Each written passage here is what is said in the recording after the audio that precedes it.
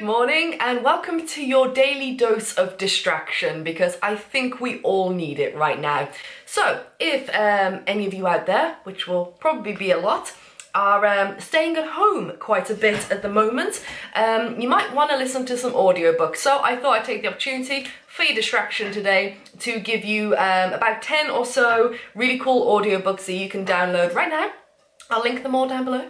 Um, just if you need a bit of a distraction, if you are just, you know, feeling like you need to escape for a little bit, which I think we all need to right now. So I'll link all of these audiobooks down below for you. They are affiliate links, just to let you know. Also leave a link down below for you if you want to get a free audiobook on Audible um, with a free trial, one free audiobook. It is an affiliate link. I will make some money if you do sign up for the free trial, even if you cancel it after. Um, so if you want to do that, that would be incredible. So everything down below uh, for your knowledge um, and thank you in advance. Right, let's start off with one we might all need. Um, this book really changed things for me. If you've ever heard of Mel Robbins, you know where I'm going with this. I've actually got two Mel Robbins videos for you. Actually, Mel Robbins is going live every day on her YouTube channel. I think for this week, I don't know how long she's doing it for, to help people who are suffering with anxiety right now due to everything that's going on. The first book is The Five Second Rule. This is her biggest ever book. Um, it is amazing. It has helped me so much. Just those few numbers, five, four, three, two, one. Um, it'll really help you um, in grounding yourself, getting yourself up and active and doing something. Um, and it's all, it's not one of those hippy dippy um, kind of like wishy-washy self-help books. Um, and Mel, Robin Mel Robbins actually narrates this backed up by, you know, real science and it's absolutely phenomenal and it changed the way that I went about day-to-day -day life when I was really struggling about a year ago. So the five second rule it's her biggest, like, massive international bestseller. Would recommend on Audible. Um, second one by Mel Robbins. Where is it? What is it called? Come on, it's an Audible original, so you can only get it on Audible. It's called Take Control of Your Life, and that is when you sit in and listen to her coaching sessions with different people, and then she kind of, after that, she analyzes it, it breaks it down, all these different people and what they're struggling with, um, and then backs it up with science of ways of coping mechanisms and things like that. And that one's a really good one as well, I would recommend. Okay, so the next one is, again, I don't know anyone who has not read this book. Well, actually, I do, that's a lie. Um, and it is This Is Going to Hurt by Adam Kay. I've got both of his books. I've listened to This Is Gonna Hurt about three times now. Sky and I always listen to it. He narrates it himself. It's absolutely fantastic. Um, basically, it's the Diaries of a Junior Doctor. He is a goes into gynecology and he talks about life on the front line in the NHS, but it can get a bit dark at the end, full warning, um, of course. However, it's really funny, and especially just to listen to it, that's why I like audiobooks from the author when they narrate it.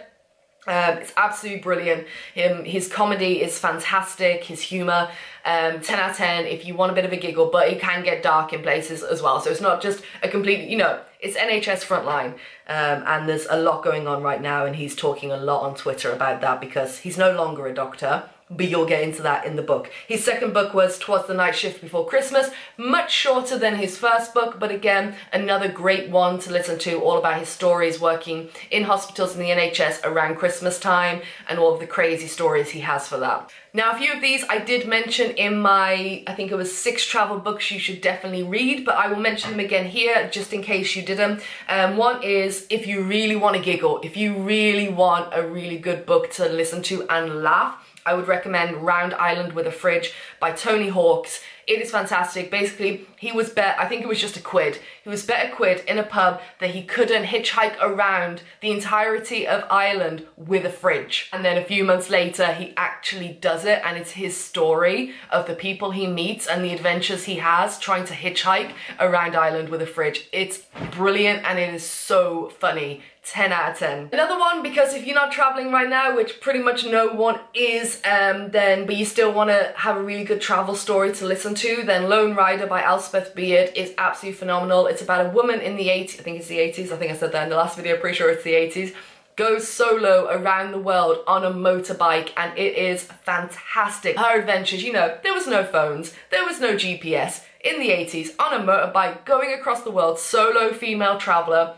if you want to listen to some travel books right now and just like, you know, get some escapism, that one is fantastic. Sorry I'm not going super into detail on all of these, it's just I've got so many and I don't want to bore you, um, so I'm just kind of giving you a little bit of a recap. Another great one, we like to listen to biographies and things like that, so another great one is called Unnatural Causes by Dr. Richard Shepherd. Um, he is a forensic pathologist, um, so he performs post-mortems after on crime, after, not on crime scenes, you know, from crime scenes, a forensic pathologist, and it's a very, very interesting listen slash read um, about his stories of how, when he got started and some of the things that he encountered along the way. So if that seems a bit up your alley, then it might be. Um, yeah, really good. Like it's a whole different world. One you don't really get to hear much outside of like CSI and things like that, which aren't exactly reliable. So it's his true account of some of the things he encountered during postmortems um, from crime scenes and things like that. So it's a really interesting one. Now this one is interesting. It's called Strangeways by Neil Samworth. It's about a correctional officer, a prison officer, uh, a Strangeways, and we actually met someone who knew this person in Tunisia also because he said that he was a prison officer. And we're like, oh, we just finished listening to Strangeways, and he was like, uh-huh. Let me just fill you on the. It's a really good book. Um, incredible stories about life as a prison guard. Um, however, apparent uh, I don't know if I can say this because it might, you know, this is, I'm not, this is just a rumor. This is what we heard, that they weren't all his stories. Apparently, I don't know that. I'm not saying that as a fact. Uh, he stole some stories from other prison officers. Anyway, I'm gonna shut my mouth right there. It is, if you didn't know that though, it is um, a really good book. It gives you like all these stories about what it's like working inside a prison with prisoners one-on-one. Um, so that is really interesting. Another one is The Locked Ward by Dennis O'Donnell. Um, it's about an orderly who worked in a psychiatric unit and it's, again, we like to listen to biographies of people who work in different fields. This one was super interesting to me. Um, it's about the people, the patients that he um, got to work with, their stories, his story of how he felt working with them and the things that he learnt along the way working in a psychiatric unit. And um, no, I really enjoyed that one. Definitely um, recommend if you're into that kind of stuff. I know there's a lot of healthcare stuff. We got forensic pathologists, we got orderly in a psychiatric unit, um, and we've got Adam Kay, um, you know, delivering babies left, right, and centre, and this is gonna hurt. Um, but I find those kind of books fascinating, so that'd be a good little job lot for anyone, um, because it just the locked ward really gets into his psyche um, of going in day after day and it's just fascinating the way he writes it for the people he meets um, and works alongside within this psychiatric unit. 10 out of 10 would recommend that book. So super deep one is the secret barrister. Um, i would definitely recommend listening to this one. Um, i do follow them. No one knows if they are a male or female because uh, they're completely anonymous um, owned had a blog before. This is like major major bestseller. On how everything behind that line of his job as a barrister um, has he ever known that someone is clearly guilty even though they haven't told him and he still has to defend them? Things like that. Um, and how bail works what bail actually means. And it really breaks down the criminal system from the point of view of a barrister um, but I definitely recommend listening to it because there's a lot going on and there's a lot to digest with a lot of terminology. So glad I listened to this one. I know people who've read it and they've had to stop sometimes because it's just, there's a lot of information, but it's a great listen. It's a long listen as well, I think. But yeah, 10 out of 10. All right, going back to something a little bit more light-hearted and just wow is a professional idiot Steve-O. Steve-O's book is wow, like as you can imagine. Um, Steve-O from Jackass, his story, stories are just mind, like you can't imagine living the life he has lived and how he has survived so long is just miraculous to be honest. So if you're down for one that's just like a jaw-dropping, oh my god, kind of story, then definitely recommend listening to it. Just it's just a crazy ride that he takes you on as you can imagine but he breaks it down he seems super like open and honest about everything within his life that he has done and very reflective looking back now. Again, I've recommended this one loads, but it's Life and Laughing by Michael McIntyre. If you, Michael McIntyre is my personal favorite comedian of all time. It's almost impossible to get any good tickets to his shows. He sells out so quickly. It is a bucket list for me to see him with good seats live, just like Lion King. Want to see it, but gotta be good seats. Um, Michael McIntyre's um, story is amazing because he one, it's hilarious, so listen to it because he narrates it, so it's just funny. If you want to giggle and you like Michael McIntyre, download his book. It is brilliant. Um, not only is it hilarious with his stories, but it also gives you an insight into the life of a comedian. Like, from the beginning of everything, from the beginning of his life and the struggle it was. He might be the, I think he was named a couple of years ago the most successful comedian in the world. And it's just, but how he got there, the rejection, the, like, it's insane. Like, how many comedians would have just given up, and so many do before they get that break, before they become successful. The journey a comedian or anyone in the arts has to take is just astonishing. Um, so if you really want a good giggle, 10 out of 10, just download it, you'll guarantee laugh. All right, so those are my recommendations. I'll link them all down below. Now I did ask um, if anyone had any recommendations. We got one, um, this is from Rebecca on Instagram.